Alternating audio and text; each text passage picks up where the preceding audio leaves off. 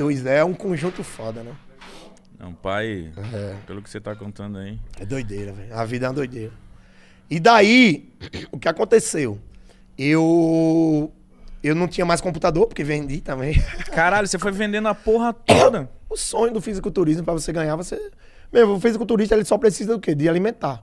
Se alimentar, pagar academia, né? Eu ganhava academia de graça, por causa que. Né? Eu era competidor e a galera já conhecia, então eu conseguia alguns patrocínios, então eu só precisava pagar é, a, a comida, né? O rango, né? E você vendia os bagulho pra. Sim. Caralho, mano. A gente chegou uma época que vendia, porque quando você tem patrocínio, melhora. Quando você tem uma vida, uma condição boa, ajuda, né? Quem, quem tem condição boa, que vive como hobby, é o Dream, velho. É o Dream, é o Dream. Mas quando você. A grande maioria que me acompanha, man, é, é humilde pra caralho. Né? E eu vou falar a questão de humildade. Muita gente confunde humildade em você não ter dinheiro Ser e você pobre, ter né? dinheiro. É verdade, muita E, gente. e acontece comigo toda hora. Depois eu, eu chego nesse ponto. Mas vamos lá. E daí eu fiz uma coisa muito errada que mudou minha vida de, de- de- de- da água pro vinho. Roubou. Não. em aspas, roubei. Em aspas. Minha, avó, minha, minha mãe recebe, recebe o dinheiro do, da aposentadoria dela no cartão. Meu Deus. Tchê. No cartão. Juninho. Juninho. Mãe, Pegou o agora. da mulher. Agora vai. Não, eu tirava o dinheiro toda a vida pra entregar ela, né? Certo. Sendo que eu fui tirar normal o dinheiro, isso foi no domingo o campeonato. Segunda manhã fez, Juninho, o, o, o- vai tirar o dinheiro no banco, eu fiz, ô mãe, não vou não, mãe, vou não, não sei o quê. Juninho, tem que não sei o quê, não sei o que lá, fui. Quando cheguei lá, tinha, quando eu em- coloquei o cartão, tinha na frente, empréstimo consignado, empréstimo bebê. Eu fiz, que é isso, Deus? É comigo? eu fiz, não. Cliquei pra ver. Meu Deus do céu. Cliquei pra ver. É, Cliquei pra ver. Aí tinha lá vários valores dividido em 72 vezes. Eu digo, ô, 72 vezes é o Dream. de boa dá pra pagar. Dá pra É. pagar suave. Aí eu, caralho, tirei o cartão, saí do banco, fiquei pensando. Caralho, velho. Quanto que era o empréstimo, o valor que você tava pensando? Então, eu, eu, eu não tinha ideia do, do valor do PC. Quanto é que era. E daí eu estipulei 3.500, né? Aí eu peguei, fiz um empréstimo de 2 mil no bebê consignado. Não tinha falado nada pra sua coroa. Não. E, e bebê consignado e outro bebê. Bebê Banco do Brasil. Sim. Aham. Eu não vou lembrar o outro, mas era, era os dois que podia. Aí eu fiz. Viu que eu parei de tossir? Verdade, hein? Ele Cara- tem maior tosse de cachorro velho do caralho. E eu fiz outro bebê lá. Aí sacou, saiu na hora, 3.500 reais. Dividido em 72 anos, vezes. Com juros ia pagar uns e 5 eu mil. queria sacar. Aí o que é que eu fiz? Meu Deus. Tudo na hora. Vou começar a dar aula de personal, vou pagar, vou coisa. E eu peguei o PC pra jogar. Não sabia o que era stream. Não sabia. Ah, você pegou só pra jogar. Pra jogar por causa do campeonato. Pra competir, né? Só pra jogar. CS. Daí, cheguei, mãe. Man, desculpa, mãe, por ter mentido. Mãe, patrocínio, mãe. Vai me dar um PC. Olha que malandro, velho. Comprei a porra do PC, né? Comecei a dar aula de personal Soli, um dos meus melhores amigos aí que me apoiou demais na carreira de stream. Começou a, a me pagar pra dar aula pra ele, porque eu já era conhecido pelo fisiculturismo, né? Então a galera queria dar, dar- ter aula comigo, né? Mas eu só tinha aula com mulher, só dava aula pra mulher, né? Safado demais. Cara de safado. Ele fez assim. Brother, tinha uma aluna minha, deixa eu lembrar, não vou falar o nome porque puta que pariu. Brother, posso levantar aqui? Dá pra pegar legal? Dá, Pode, aqui, pode ó. levantar. É Cheve, meu nome era Cheve já, né? Aí o agachamento, né? Ela aqui. Todo professor, a maioria é safado, tá? Eu vou dizer isso aí. Olha, ele tá explanando os Tô caras. explanando. Porque, meio, é muita testosterona, o cara não aguenta, tá ligado? É foda. Aí, ó, mas tem, logicamente, sem assédio, sem abuso, sem nada. Tem meninas e, e caras que cedem e fazem isso. Essa minha aluna era imoral, era imoral. Eu tinha um relacionamento ali, eu tava ficando com a amiga dela. Ai, caralho. Não tinha como. Ela ia treinar absurda, né? Aquele shortzinho. Maravilha. Coisa linda. Aí, na hora de agachar, aí eu, sei- ó, tá aqui. Você pode vir aqui pra fazer um agachamento com você? Posso? Vai lá, Mítico, por favor. Eu vou fazer na, na tru, na tru, fica tranquilo. Não, eu gostei que ele pegou mais intimidade com o Mítico, então vai embora. Ó, né, porque aqui vai ficar muito perto. Pronto. Vai virado pra lá. Agacha aí na moral. Não, sem, sem, via- sem coisa, vai, de- desce aí. Assim? Ó, você dá o toque aqui, ó, longe, e você pega o impulso aqui, ó. Mas certo? essa mãozinha no peitinho. Não, aqui. não, não vai, é aqui, só aqui, ó. Ó, presta atenção. ó. No sovaco. O toque de um personal é aqui. Você Toma. toda hora aqui, distante, você preocupado com a postura do aluno, coluna, tudo, né? Sendo que cada vez. Pronto, pode sair, meu aluno. Sendo que cada vez que ela agachava, ela. Que delícia. Brother, era cada gemido que não tinha condições. E ela, tá aqui o toque, ela ia pra trás, de verdade. Daqui, da, ó, aqui é o agachamento. Ela fazia aqui, ó.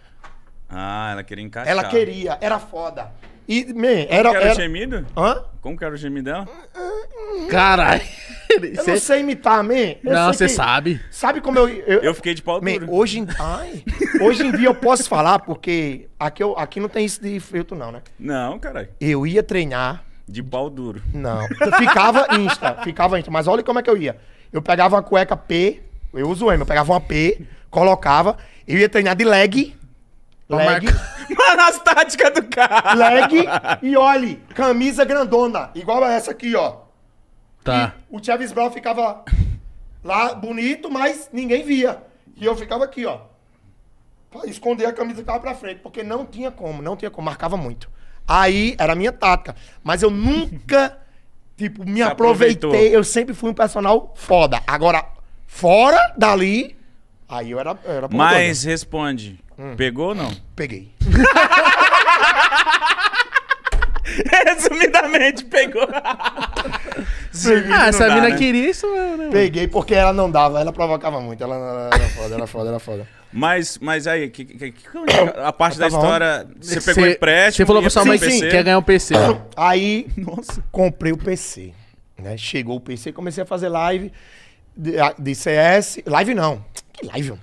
Comecei a jogar CS com meus amigos, aí o H1Z1 estourou. A galera jogava H1Z1. Comp- Muito bom. Não tinha dinheiro pra comprar H1Z1, porra. Aí um amigo meu me deu, Soli, me deu H1Z1, baixei, e a galera falou: Chevy, eu sou da mesmo jeito off live e na live. Lógico que na live a gente fala mais, a gente comunica mais, a gente. porque tem- interagir, né, Interagir, exatamente. Sempre que eu sou a mesma personalidade dentro e fora.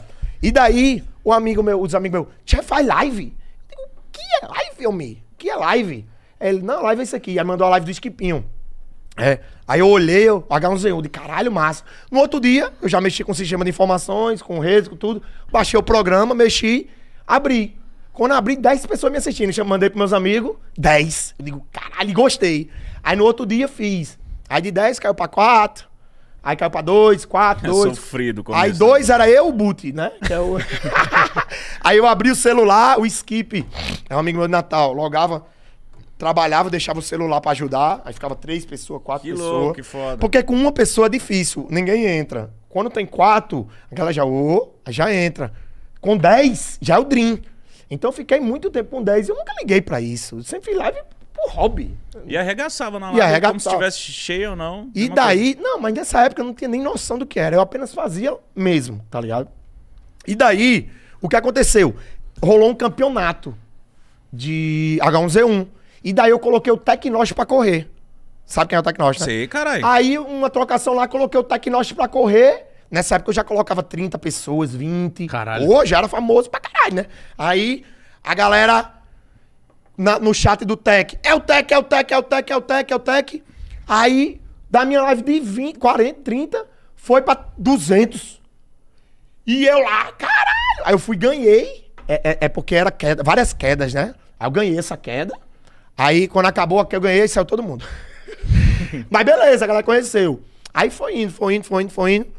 Aí, um, um dia, man, a história é doida. Um dia, o AXT, que foi um dos caras que o mais importante, eu acho, nesse meio de stream, tá ligado? O AXT, conhece? Estelol. AXT LOL.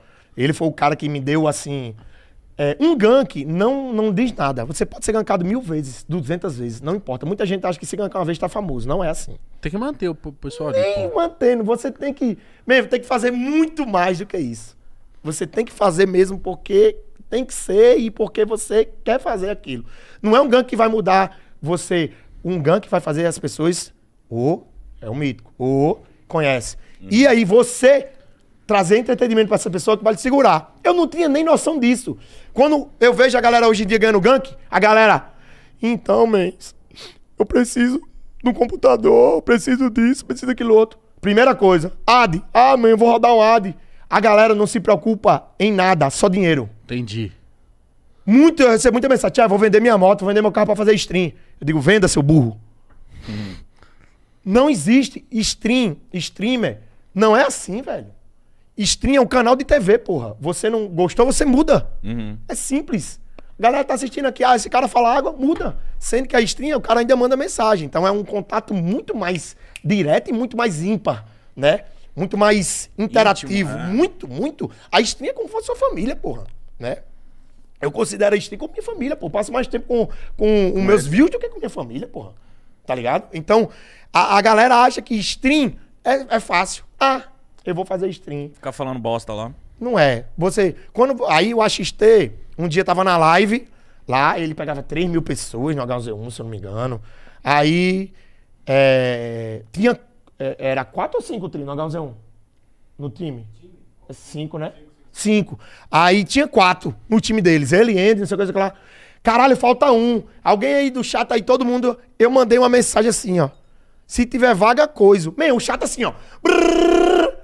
Ele leu, fez, olha o Cheva aí. Eu digo, oxe, ele me conhece? Me chamou, eu fui. A galera gostou do meu, da resenha. Eu não tava nem lá. Abre live. Que abre a live? Eu tava me tremendo, porra. Abre live, eu me tremendo. Não, amanhã eu faço. No outro dia me chamou pra jogar. Então ele foi meu padrinho. Ele, ele ficava comigo off live. Ele nem fazia live, ele ficava na minha live jogando, brincando. Ele virou um amigo. Ele, tá ligado? Te apadrinhou. E daí a porra do primeiro gank que ele deu, o meu gato entrou no meu PC e desligou o PC. Nossa, Tô falando. Nossa, mano. Me... 3 mil pessoas na minha live. Eu chutava o gato. E o gato lá. Caralho. Quem tava nessa live aí mesmo? Mano. Nossa. Aí de 300 voltou. Voltou 30 ali, mas tá bom. Humilde, né? 100, voltou 100, eu acho, 200, um negócio assim. E daí foi. Eita, porra. Aí foi assim que eu comecei a, a ser Reconhecido. reconhecido, né? E daí chegou o contrato do Flamengo pra assinar e eu resolvi não. E daí eu resolvi arriscar. Aí vim com 4.500 reais pra São Paulo, 4.200, 4.500. Não, mas eu- eu- eu- a história que eu tô curioso é pra saber se sua mãe descobriu do Agora. PC. Ela soube agora! Você tava segurando isso no seu É coração porque, até hoje. é porque o que acontece? É porque o que acontece? Ele falou agora ficou até triste. Foi É agora. porque o que acontece? O, eu pagava todo mês o valor. Então ela recebia em mãos o dinheiro dela. Eu comecei a trabalhar, então era eu que tava pagando, sacou? Eu Entendi. fiz uma merda, mas eu fiz uma merda consciente. Aham. Mas eu, pedi, eu tinha que ter pedido autorização pra ela. Você não deixou também ela pagar o, o barato, né? Não, calma. Ela pagou algumas passadas, Não, ela pagou. chegou um momento que não tinha mais dinheiro. Aí veio descontou. Aí eu digo, caralho, aí pronto. Eu nem sei a, a verdade, o, o desenrolo disso, tava falando na, na- na humildade, eu nem sei o que eu falei pra ela, porque o valor vinha descontado. Eu sei que começou esse negócio de stream e pronto. A primeira coisa que eu fiz quando comecei a ganhar dinheiro, eu digo, mãe, o que a senhora quiser comprar na vida, tá aí. Só me fala antes e, e, e compra, né? Então, é, é, eu fiz essa doideira, mas foi a doideira que mudou minha vida, porque foi uma doideira que eu fiz inconsciente, sem maldade, apenas querendo jogar pra tirar aquela vergonha de eu ter fracassado na vida, tá ligado? Que louco, mano. É, e a vida me colocou uma porta ali que eu nunca imaginei. Que nunca imaginei que teria algo, pessoas tão da hora pra me ajudar. Eu